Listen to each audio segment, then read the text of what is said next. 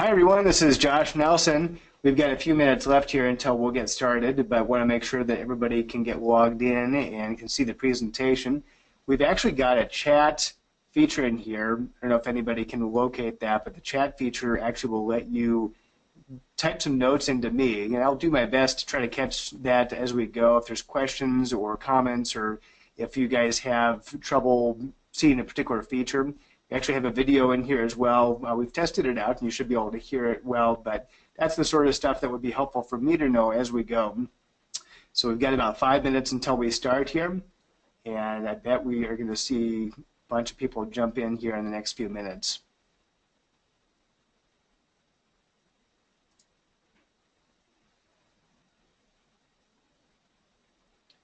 Actually, I can see you know, a couple of attendees right now, Scott and Nathan if you could do me a favor, could you type something in the chat field just to make sure that it's working properly?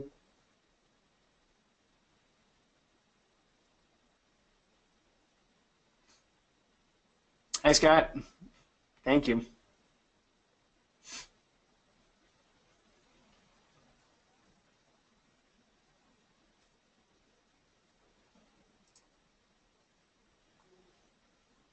And the webinar today, we're actually going to be recording. So all of these we're trying to make a recording of and make these available on our YouTube channel after the fact.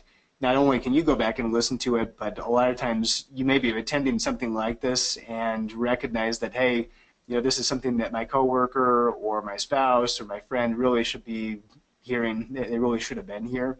So definitely make sure that you're providing them that link after the fact so you can pass that on and they can share in the information.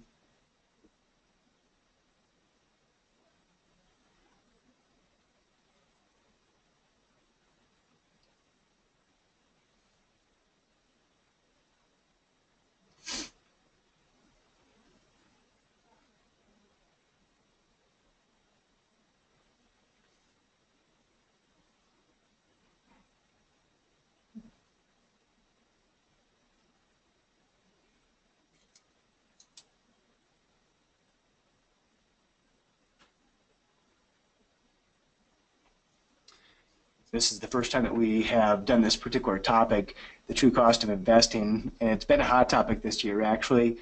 We'll get into that in a few minutes on why, but yeah, there's a lot of these terms that are being thrown around now that people hadn't even heard before.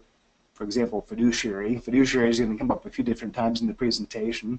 I'm sure that you've seen it someplace if you pay any attention to the financial medium.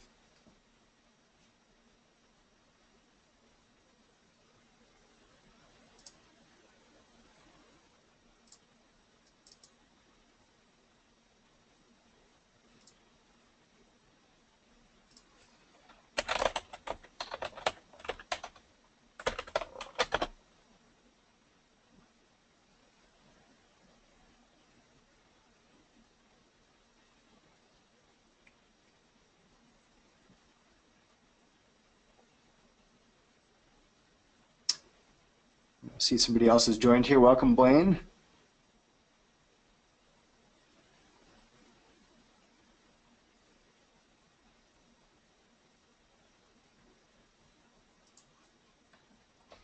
All right, it looks like Blaine can type in the chat field. That's very good. We are just trying this out this year, actually doing a lot of webinars, and so it's new to us. We're getting better and better, better as time goes on we've tried a few different formats and a few different software programs and finally have settled on something that works out really well for us. So definitely would love feedback after the presentation to let us know how this worked and also any other topics that you'd like us to do. We've got a bunch of in the queue right now that we're working on, so we always appreciate more topics. And obviously, if we're getting a lot of people that are saying that the same topic is interesting or it would be helpful, we want to make sure that we put that at the top. Hi, Wayne. Looks like we've got another person who's joined. Every time we've done webinars, uh, the cool thing is that we get more and more people, so our numbers are growing as we go. And we get a, a pretty wide variety. Sometimes it's existing clients, and sometimes it's friends of clients, family of clients. So that's really how our reach has always been growing is by word of mouth. So we certainly appreciate not only our clients attending, but anybody who is just checking us out or just here to learn a little bit today. We'll wait one more minute here and get started.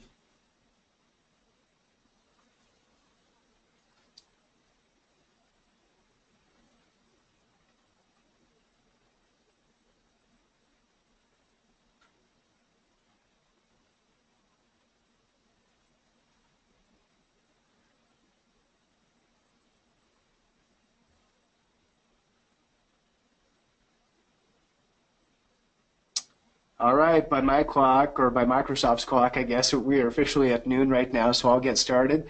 My name is Josh Nelson, and I am a certified financial planner and also the founder and CEO of Keystone Financial Services. We are known and have been, even before we were called Keystone, we've been known as being educators. And it was kind of interesting. That was what my dad did as a profession. Actually, he was a teacher. And when he was first starting to teach, as you can imagine, especially a beginning teacher, they don't make a lot of money. And so my dad was in the Kiwanis Club at the time, and one of the other guys that was at the Kiwanis Club said, "Hey, you want to work for me in the summer?" And it turns out that the guy was a manager at an animal feed company back in Iowa.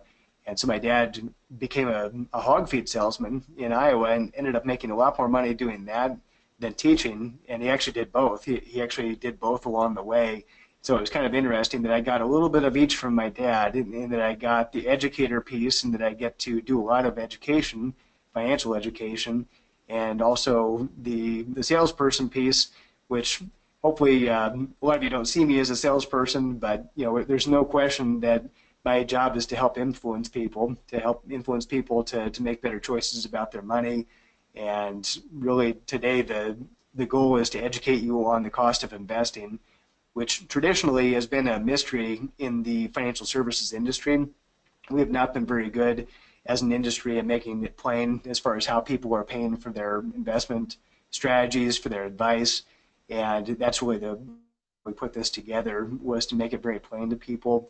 This is a goal of ours this year has been to become much more transparent and accountable to our clients because we know that's important. We know that people are expecting that as I alluded to a little bit earlier, in April of this year, the Department of Labor is a uh, basically as you know appointees of the Obama administration, and they issued new regulations that now require anybody who gives advice to retirement plan participants to be considered a fiduciary. And until April, a lot of people didn't even know what that term meant, but it's been thrown around so much in the financial media over the past six months that I'll throw it out a couple times and make sure that I'm defining what that means. But uh, suffice to say, I've been a fiduciary and have been for many years. And really, what a fiduciary means is that it's somebody who act, has to act in your best interest first. They have to put your best interest first. And a lot of people say, well, duh, if you call yourself a financial advisor, a financial planner, isn't that just assumed? Well, you're right, it's assumed, but it is not always the case. In fact, traditionally in our industry, if you called yourself a financial planner or a financial advisor, it usually meant that you were a product salesperson for a company. Oftentimes it would be a Merrill Lynch or a Smith Barney or something like that, one of the big wirehouses. But traditionally, that's what you would have been looking at as somebody who really was just selling product and was uh, being paid on commission.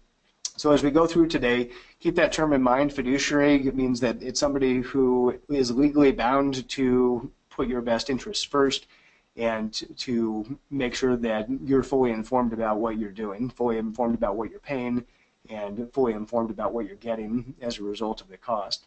Glad that we have so many attendees today. Looks like we've got 10 in the queue, and we might get a couple more that jump in. Again, I mentioned before that this is being recorded, so all of the information that you're hearing right now, we're going to record and put on our YouTube channel. You also will find an archive there of our past presentations so you can go back and, and find topics. But really what we're trying to do is, is have this financial education piece be something that we're not just doing in person. Sometimes we'll get a meeting room or, or do a smaller group room in our office that will be educational. But for a lot of people, that doesn't work. It, it doesn't work because their schedule, because of where they work, because of where they live. And so we've really tried to boost up webinars as our means of trying to deliver financial education. So let's get started. When we look at today's goals, there's a few real basic goals in what I'm trying to, to help you understand. the number one goal is what you're paying for and why. When you're paying for financial advice, it's important to understand what it is exactly that you're paying and what it is exactly that you're getting. That brings us to number two, is that there's a correlation between investment value, performance, and expenses. So in general, having lower expenses is a good thing. Not always. Sometimes in life you're paying for something and you're not getting any more value. But in some cases you're paying more and you, you do get value. For example, I'm looking out my window right now and I can see a few hotels out here and there's a big difference. I can see the Embassy Suites for a lot of people, they'd say, yep, that's a pretty good experience at the Embassy Suites, and there's a very big difference between uh, that and the Candlewood Suites is uh, just a little bit, uh, you know, over on the horizon for me. So both will do the job. It's true that both will give you a place to stay, hopefully clean and safe in both locations. But at Embassy Suites, you're probably going to get a better experience. And in a lot of cases, you don't end up paying that much more. That's part of what we'll unpack today. And then number three, questions to ask your financial advisor or financial services provider. When I say financial services provider, it could be your 401k, for example. A lot of times people think that, well, my employer's paying for that. And that's not the case. You're actually paying for your investments inside the 401k. So you want to make sure that you know exactly what it is that you're, you're paying and what questions to be asking. So fee transparency really the important thing about transparency is that you can you can see it. You know you can actually see the cost. And in our industry there's a lot of embedded cost in financial products that people have no idea that they're actually paying. So it, it's important to understand that. I've tried to do a, a better job over the last few years because sometimes you know we get into this industry and we start to make assumptions as far as what people know and they don't know. So I've tried to elevate that discussion within my meetings with clients. So really there, there is a relationship between fees and value. Um, you really do need to unpack what it is exactly that you're getting for increased fees because in general, the higher the fees, the lower your return is going to be over time.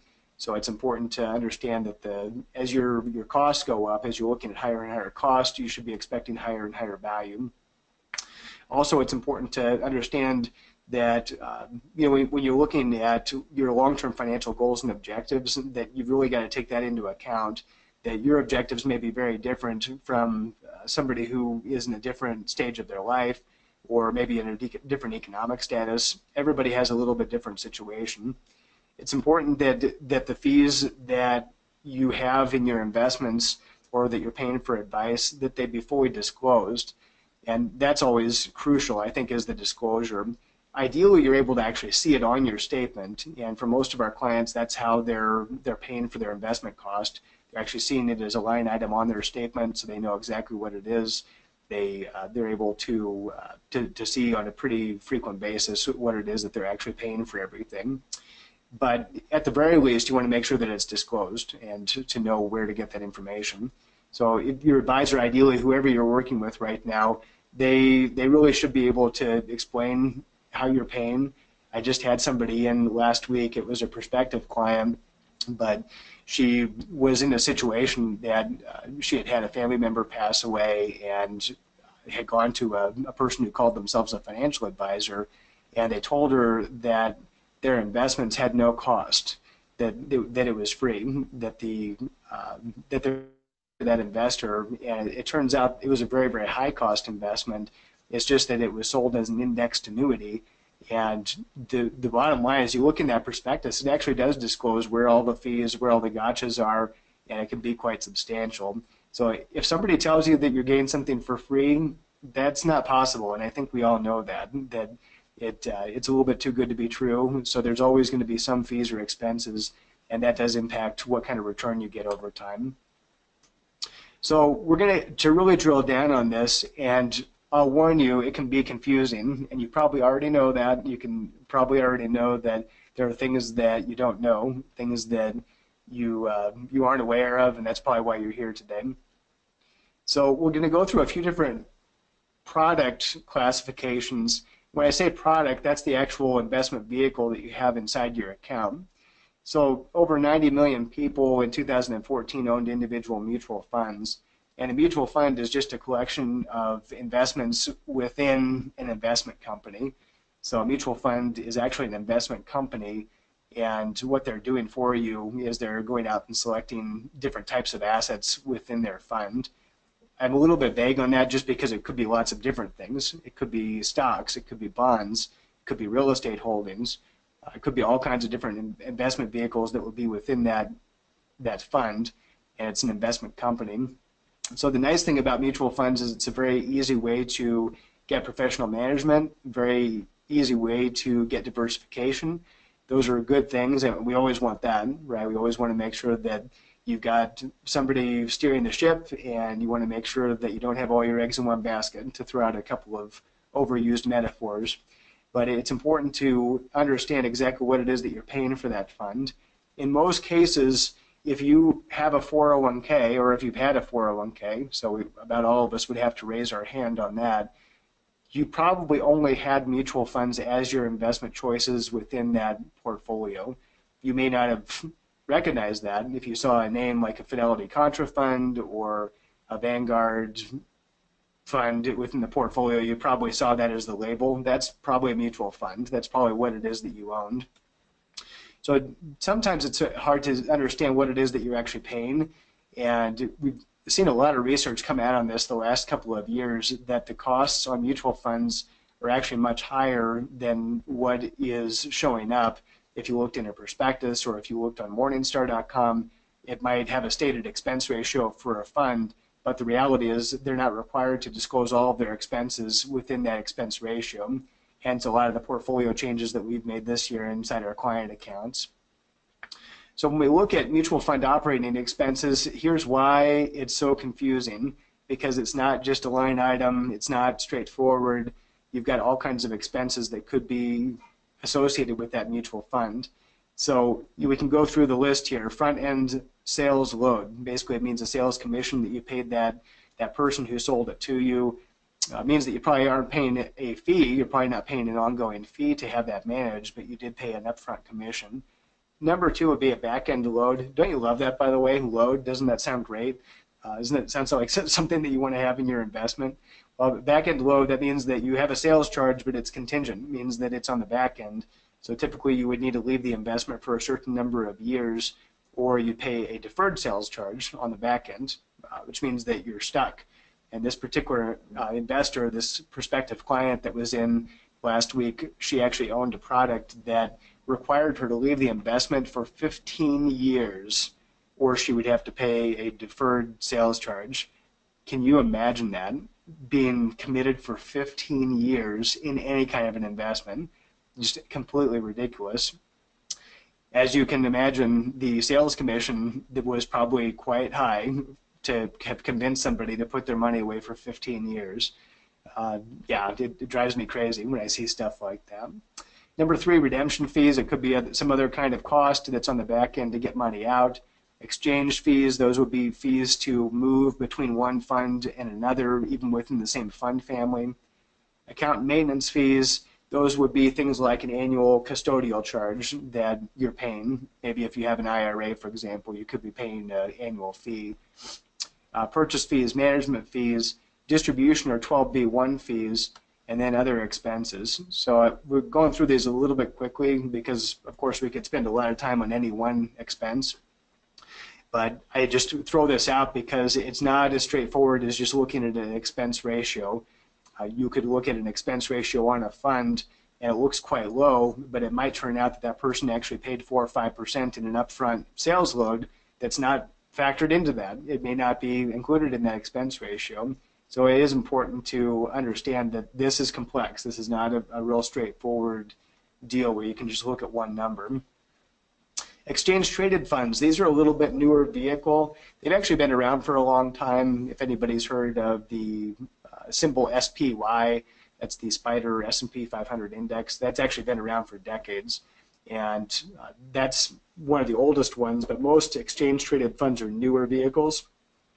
Basically, they're not actively managed. Most are not actively managed. They're basically just built to track various indices like the S&P 500, or the Dow or the NASDAQ, there may be certain stock market indices that you want to track with your portfolio. The average is 50 basis points, and you can see on the slide they're non-leveraged. Non-leveraged means that that it's it's just kind of a standard portfolio. Their reality is that the the non-leveraged ETFs are a lot cheaper. There are leveraged ETFs though, which means that they're actually borrowing money within the portfolio. As you can imagine, those can be quite risky in some cases. So you want to be real careful from an investment standpoint what it is that you actually own in there. That's not something that we typically would use in a client's portfolio. But the big difference between an exchange traded fund and a mutual fund is that an exchange traded fund is probably cheaper, the expenses are probably lower, it's probably not actively managed, and it uh, it actually trades on a almost you know second by second basis. They're actually traded throughout the day like a stock, so you can actually buy the S&P 500 in one ticker symbol and then sell it you know 10 minutes later, and obviously you'd sell it at a different price than what you bought it. Versus mutual funds are just traded once per day. There also can be some differences there with spreads, and that would, again would be that purchase and sale price. When you buy a stock and sell a stock, even if it's within a very very short amount of time, and nothing happened, you know, like the CEO resigned or something like that, there's going to be a difference. So if you bought and sold you know, within split seconds, for example, you actually would lose money. I mean, almost guaranteed you you'd lose money because there are market makers that that's how they make money is on spreads, and so that actually ends up eroding some of your returns, especially if you're trading frequently. So it's really important here to stick with liquid funds that are very they're very liquid. They trade a lot, like the S&P 500. They had some trouble here a few years ago if you remember the flash crash, that was a situation where the market dropped really quickly. And who got hurt really badly in that were people who owned exchange traded funds, for example, that didn't trade a lot. Those could have been huge differences in spreads, and you could have lost a lot of money very, very quickly if you happened to be trading during that time frame. So it's important to make sure that you don't go with anything too exotic when it comes to exchange traded funds or you could end up getting hurt uh, from an investment perspective. You could end up seeing losses on something that you thought was quite conservative even. Annuities. These are insurance vehicles. So if you ever have owned an annuity or, or purchased an annuity, you probably were talking to somebody who was licensed for insurance, and maybe they were licensed for insurance and investments. But basically what a, a annuity is, it's an insurance product. It would be issued by an insurance company and what they would be doing is they would be saying, we're going to guarantee you something. We're going to guarantee you some type of payment now or in the future off of this annuity. So it's an insurance contract. They're guaranteeing something to you. And that could be a guaranteed death benefit. It could be an income that you couldn't outlive. It could be a situation where you maybe guaranteed something, but many, many years in the future. So, for example, this person that had the, the 15 year annuity, it's true that there are guarantees built into it, but those guarantees are they have lots of asterisks associated with them. You have to meet a lot of conditions to be able to get those guarantees. So it's important to understand what it is exactly that you've got. You might tell that I, I have a little bit of a negative opinion on annuities, and that's because a lot of people that own annuities don't understand why they own them, and they're probably paying a lot higher in cost than they really know.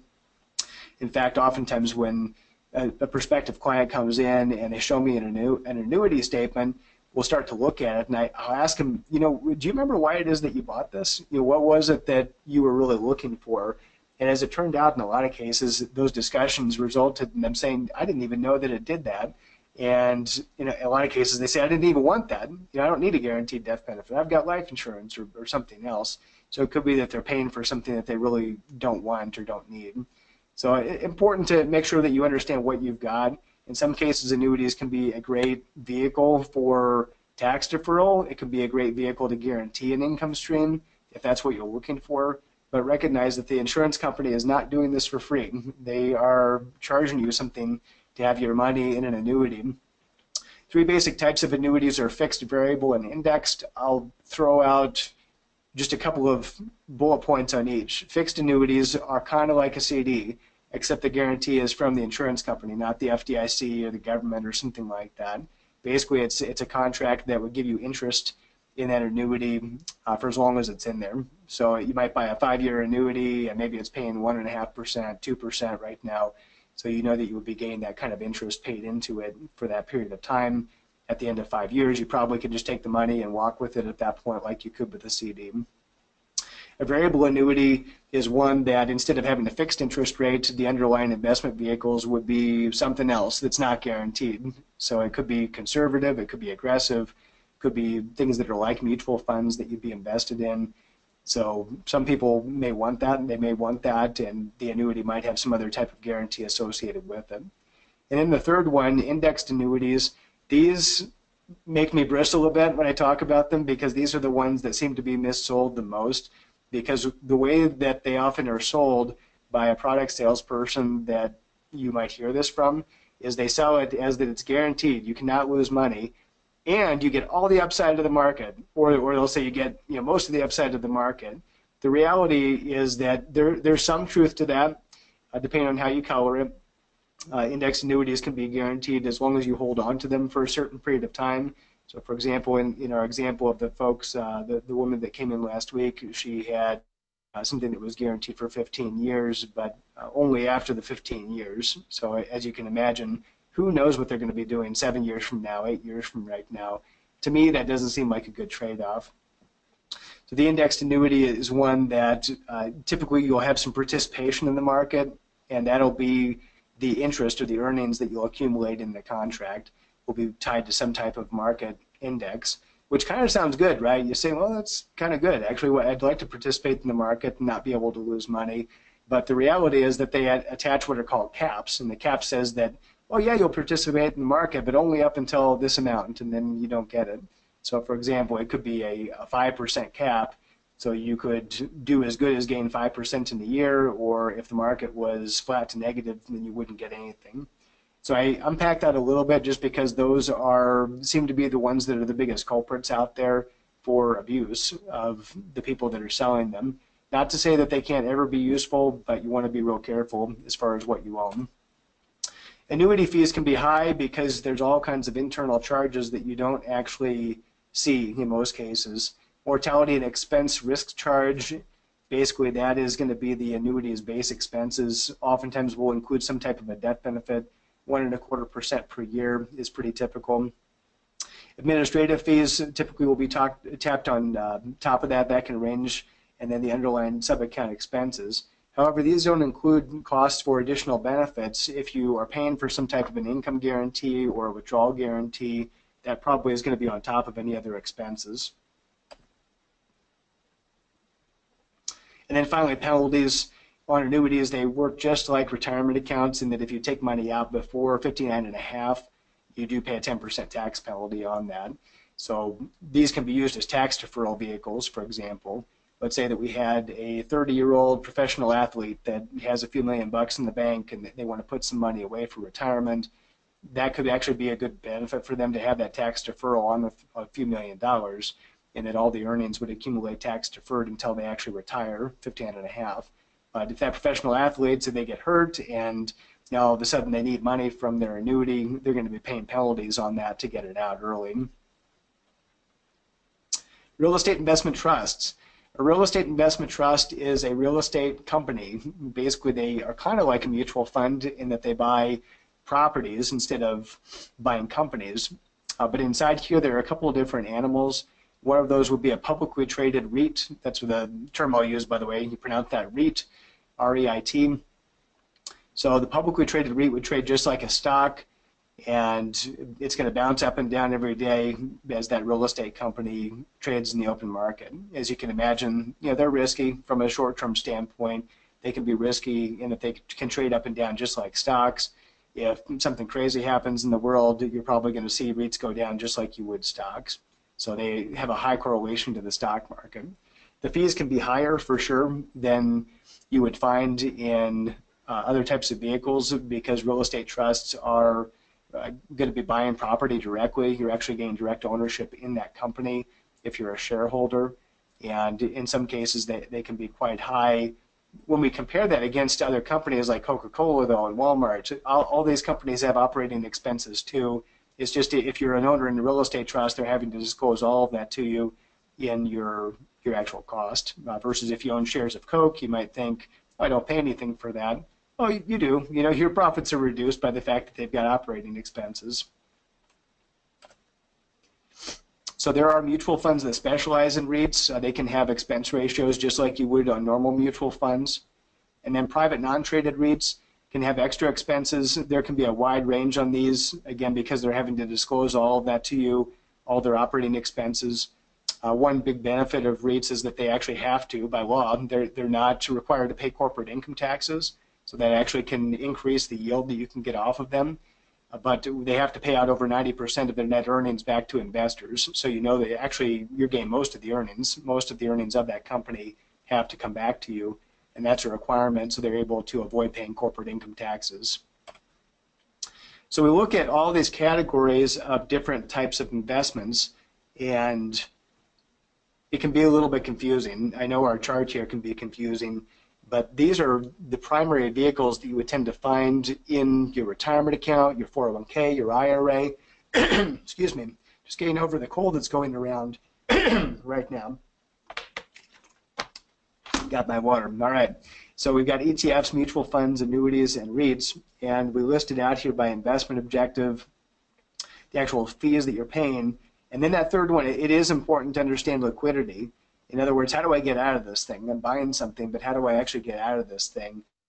Especially with annuities and REITs, you want to be real careful about those and to understand what it is exactly has to happen so you can get your money back out. In some cases, it can be a good thing. It, it may not end up being a bad thing that you own an annuity that has a longer period that you're committed for because maybe they're giving you some kind of an incentive for that.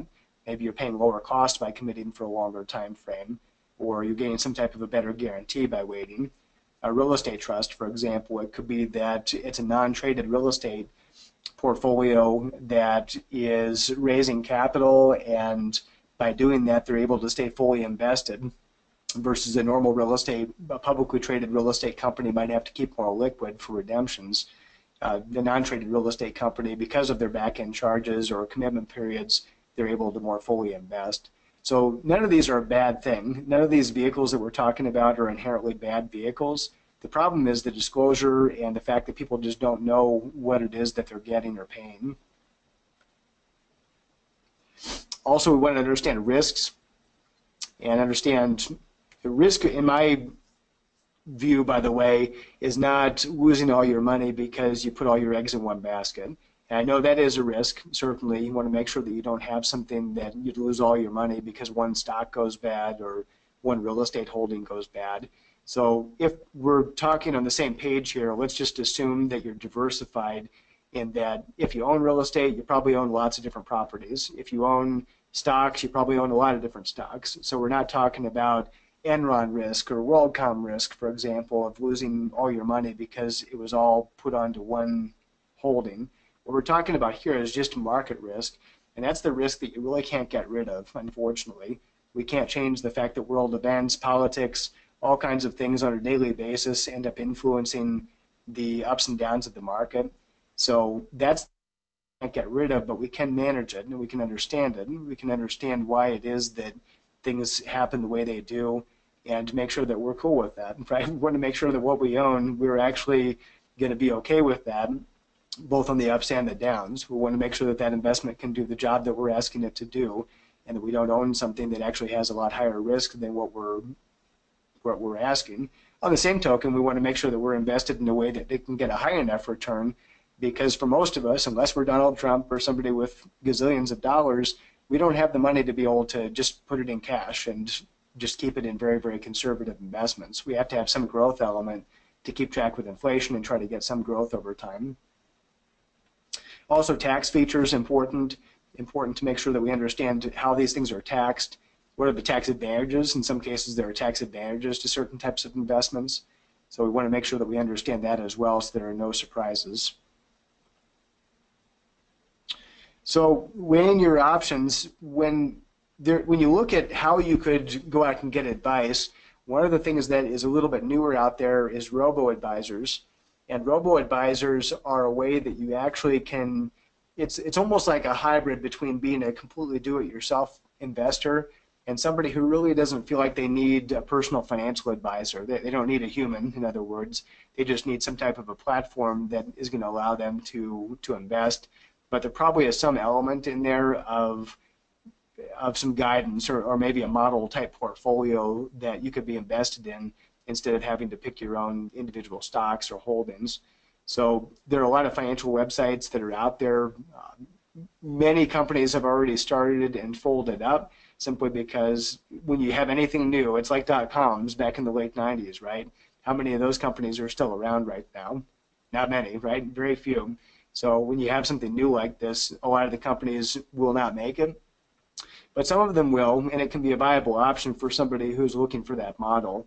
So it really depends on what level of advice that you're looking for, and really if you want personal advice, personal contact, a personal business relationship, versus just needing an investment platform online or, or technology tools to help you do your own thing.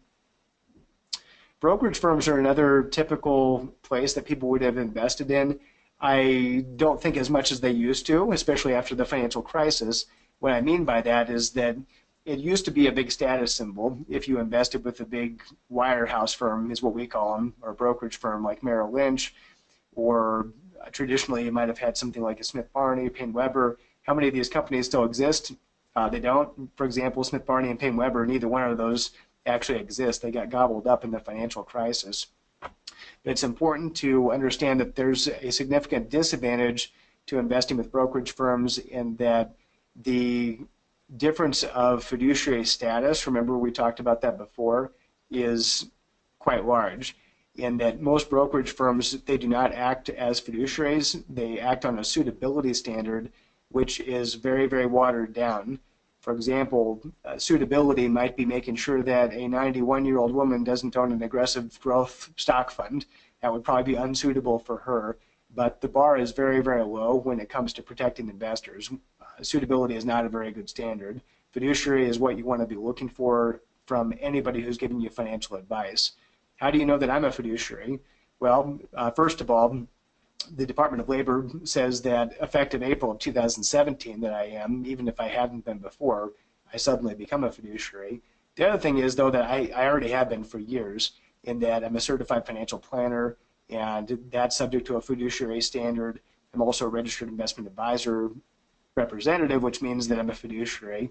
So you want to be looking for that status. You want to make sure that they have to act in your best interest and that they don't have that watered down suitability standard. Also want to recognize that brokerage firms traditionally have been commission oriented and there typically were incentives for the people that were selling their products to recommend proprietary products. So it, it could be that we're going to pick on Merrill Lynch all day today, by the way. Uh, hopefully, there's no big Merrill Lynch fans, uh, but they, they all kind of operate the same. If you own a Merrill Lynch mutual fund, for example, um, they, they could be offering some type of a sales incentive for their people that maybe they're offering a trip to Hawaii or something like that if they, they sell enough Merrill Lynch funds. So it's important to understand that, that there could be some certain things even in the background that you're not aware of that would sway them to be recommending one thing versus another. excuse me, advisory firms. Advisory firms, which are us, for example, we're an example of, of, a, of a advisory firm, is that we provide advice on a fee basis. So you're paying us a level cost over time. It's pay as you go, meaning that if you are not happy with what we're doing for you, you will be able to walk, transfer your account, and we stop getting paid. So it didn't involve a big upfront commission or something like that. Uh, that's 85% plus of our business is done that way. Uh, just for you clients that are here now, you're probably paying us exclusively or almost exclusively based off of a fee. There's a, big variety. I, I, think we're kind of big. You know, we're 135 million roughly right now in assets under management. So I think for a local firm here, that's actually uh, you know fairly large. We're one of the larger firms here in the area. But you might find advisory service firms that are in the billions, for example. So it depends on what it is exactly that you're looking for. There's been a big levelization, I think, in the capabilities because of technology, because of scale, because of outsourcing. A lot of times, firms like ours at 135 million can provide the advice and have the resources of a multi-billion dollar firm simply because of who we partnered with and what type of technology we have available. Advisory firms typically, what are they providing you? So, bottom line is they're providing you advice. They're probably providing customized portfolio management as opposed to some type of a model. Uh, model meaning that if you're with a robo advisor, they may have certain models that you just kind of plug into and it's not customized. They're not taking into account the fact that you may have a lot of tech stocks because you work for an HP or Intel and can adjust things uh, accordingly. Also, it can definitely range as far as what you're paying based off of what it is that you're getting. That's important to recognize in that there are a lot of firms out there that are charging less than what we are, and there's also a lot of firms out there that are charging more than what we are. But the real question is, what are you getting for what it is that you're paying? And is there enough value or hopefully more value in that cost that it's making up for it? And, and you say, yep, that's a good deal. For example, as a CFP, I could do my own taxes. You know, it, it's not that I'm not smart enough. It's not that I'm not educated enough, and it's certainly not that there's not enough information out there. But it's worth its weight in gold. The fact that I don't have to do my own taxes, manage tax estimates throughout the year, uh, worry about keeping up on the tax code like a CPA would. So I gladly pay my CPA money to, to provide those services to me. For somebody else, that their tax situation may be very simple. They don't have a business like I do. Maybe it's, it's very simple. TurboTax does the job. For them, paying a CPA really wouldn't add enough value for it to make sense. So it's important to understand what it is exactly that you're getting, what type of advice you're getting. Is it just on the investments, or are you getting financial planning advice? Are you getting the technology tools that allow you to be able to see things on your own? So you really want to look at it as what exactly is this firm delivering, and is there enough value in it that it's either meeting the cost or hopefully multiples of that. That's our goal anyway. At Keystone is that our clients think that we're easily worth what it is that they're paying and hopefully avoiding big mistakes and avoiding investment strategies that could be quite more expensive. We're able to help minimize those costs by what we're choosing. Brokerage versus advisory. Big difference there is commission versus fee. So you could almost substitute those two words for brokerage. You could say commission. Advisory, fee. Uh, that's the big difference between the two. Some firms provide both, so Luke and I actually are licensed to be able to still offer commission products, and sometimes they're totally appropriate. They make a lot of sense. But in a lot of cases, advisory fees paying an ongoing cost over time for more active portfolio management makes sense. Other things, for example, like a real estate trust, a lot of times once we buy it, there's not a lot to do with it. And it can end up being lower cost over time than paying an advisory fee on a different real estate portfolio. So we're always making sure that we're keeping eye, our eye on both sides and recommending what's appropriate. Advantages of an advisory relationship inherently, as you can imagine, there's less conflict of interest to be paying most of the compensation by an ongoing cost, one that will actually go up as your portfolio increases. That means that as we're entrusted with more of your assets, we're being paid more. And in particular, if our clients leave, we get paid less or none, right? The, the other side of it, too, is that if the investments increase in value, guess who participates? Well, you do primarily. You make most of the money, but we make some too as our assets go up in value. And the same thing happens is that we suffer when the market goes down. We suffer when your account value goes down. So there, there's something to that, I think, as far as having some skin in the game and being able to sit on the same side of the table. I hope you believe that that is a good way to operate. Also, it's important to make sure that the advice that you're getting is customized, that it's not just a cookie cutter, that you're actually sitting down with somebody who knows you. They know your family, they know your situation, they know your preferences, they know your likes, your dislikes, it's important that you trust them, that you believe that I know this person and I know that they're acting in my best interest. Years ago, I heard the best analogy from somebody who was sitting down with me. This is a client sitting down with me. And at the end of, of our discussion, she said, So, what would you do if, if I was your mom? What would you do? And I think that's actually a really good benchmark on that, isn't it? Is we want to be able to provide you a relationship that you feel like you're getting you know, as if it was a family member or your best friend. We want to make sure that you totally trust what it is that we're telling you and that we really are looking out for your best interest. Again, back to that fiduciary word. All right, play a little video here. It's kind of cool. I think you'll like it.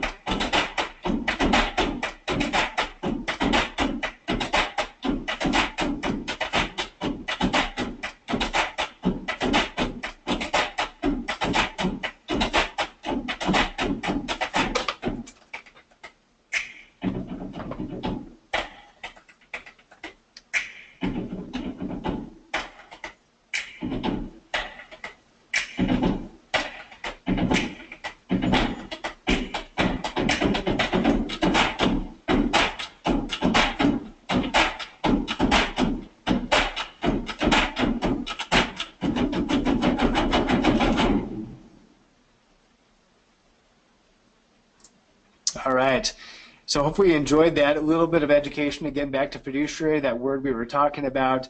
We're also part of a group called Carson Institutional Alliance, and that basically is a conglomeration of different independent fiduciary financial advisors throughout the country.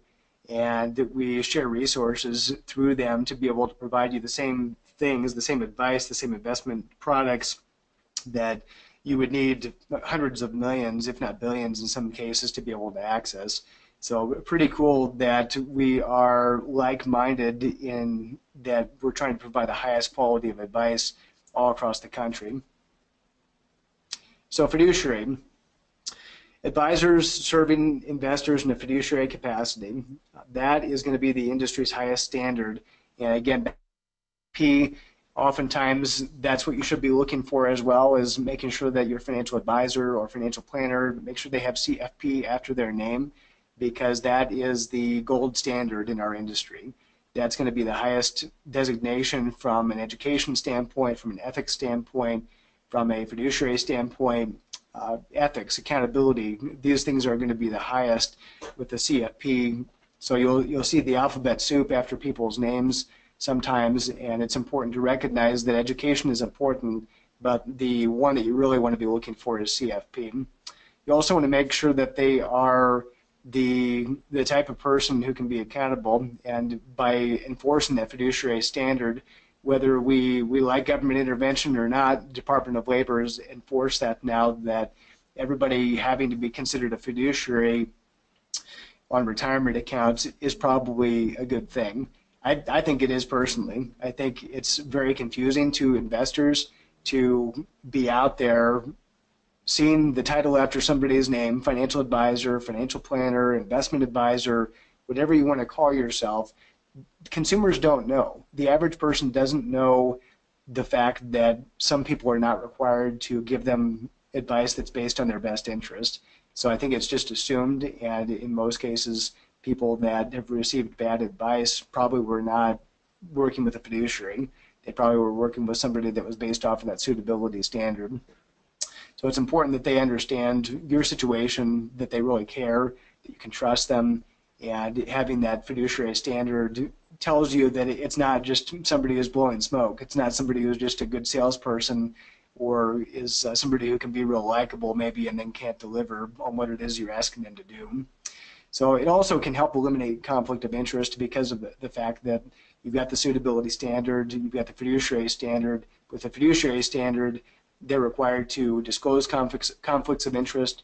they are required to to try to avoid them, you know, if at all possible. But at the very least, to be able to disclose that to you, so you are getting a fair shake. You really know that you're getting objective advice. Communication is important as well. You really want to make sure that you're working with somebody who's a good communicator and that they've got a team that can communicate. So some of the things that we do that you'll notice is that, and we, we actually just started launching trade notifications here within the last week. That means that any type of transaction that happens within your account, you will actually receive the trade notification from us telling you not just that the transaction happened, but why it happened.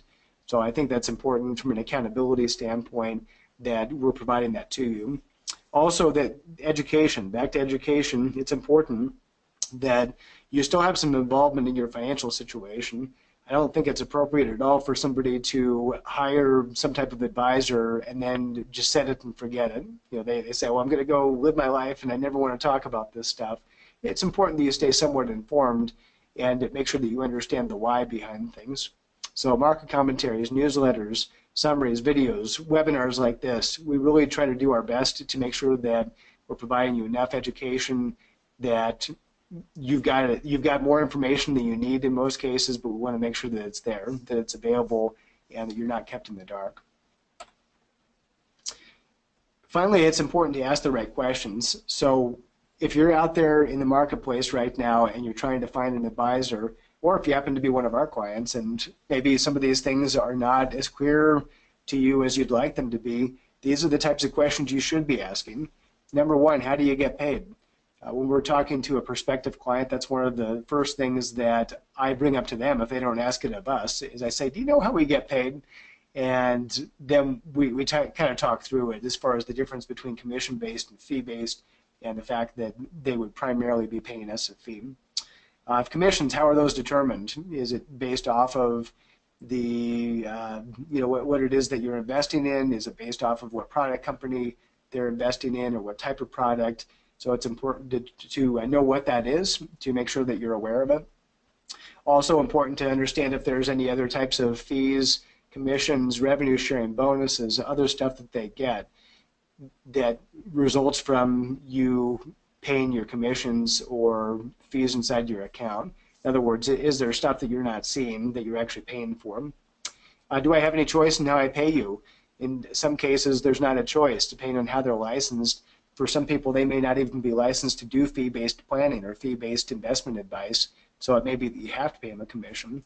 In some cases, for example, back to those indexed annuities and fixed annuities, people that sell those are not required to have a securities license. They're not required to be a CFP. They're not required to be a registered investment advisor.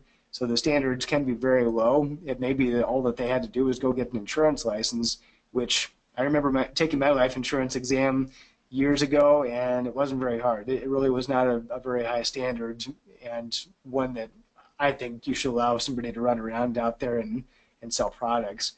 Lots of examples of people who have walked in that have worked with advisors that really were not competent and qualified to be able to give that type of advice. Fee schedule. It should be very clear. It should not be something that they have to fumble around and say, well, it depends, and you know, it could be this and it could be that it should be a pretty straightforward discussion. And if they're not comfortable talking about it, to me, that's a pretty red flag. I would, uh, I'd be very concerned about somebody who is evasive or can't just answer the question straightforward. They should be able to provide you a fee schedule or be able to just give you a, a flat out answer.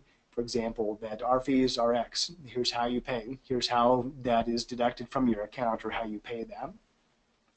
Uh, also, are you paying any other types of transaction fees or advisory fees that weren't disclosed in the previous? Is there something else that is out there that you could be paying?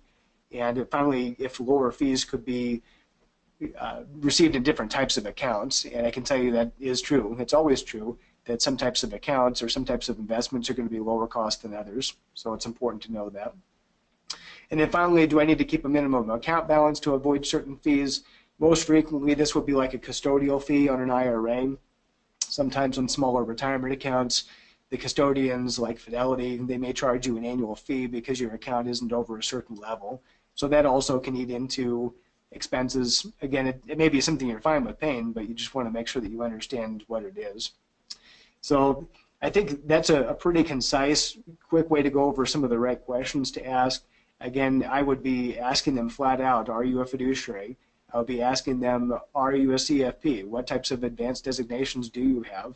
What types of things do you do to keep yourself educated and keep yourself up to date on things that are happening in the world, the markets, the tax law, the estate law, all the things that we have to abide by. You want to make sure that that person has to keep up on that and that they're not somebody who got their license 20 some years ago and that's all they did, right? That they never went back and, and kept up on changes. As we all know, the world changes dramatically and we need to make sure that we're keeping up with them. So finally, I was going to show you our new picture. We just got taken this taken a couple weeks ago. Isn't that cool? We uh, got our new team photo taken, and we have a new website launching here soon. We're actually really proud of that, so please keep an eye out for that. While we're doing the wrap up here, though, please ask questions. If you've got some questions on things that I did not address, you can type those into your chat, and I'd be happy to answer those while that may be accumulating, or maybe not, maybe I'm just so good at it that I, I told you everything. Uh, just kidding. I, there's always more to learn. That's the thing I, I know for sure is there's a lot that I don't know. Uh, as much time as we spend educating ourselves and preparing, we know there's a lot of stuff we don't know. And oftentimes that's one of the wisest things I think is to understand that you don't know everything and you need to be acting accordingly. So you see here is the five of us here in Loveland, Colorado, and we've got various roles within our organization. But more than anything, I can tell you that we are all very well trained, experienced, and that we care. We really deeply care about our clients. We aim to treat you like family.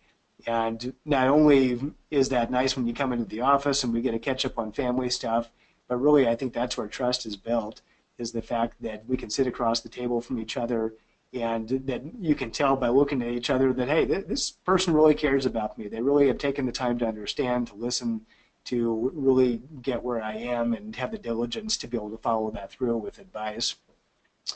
So looking at the questions i don't have any questions that pop up right now.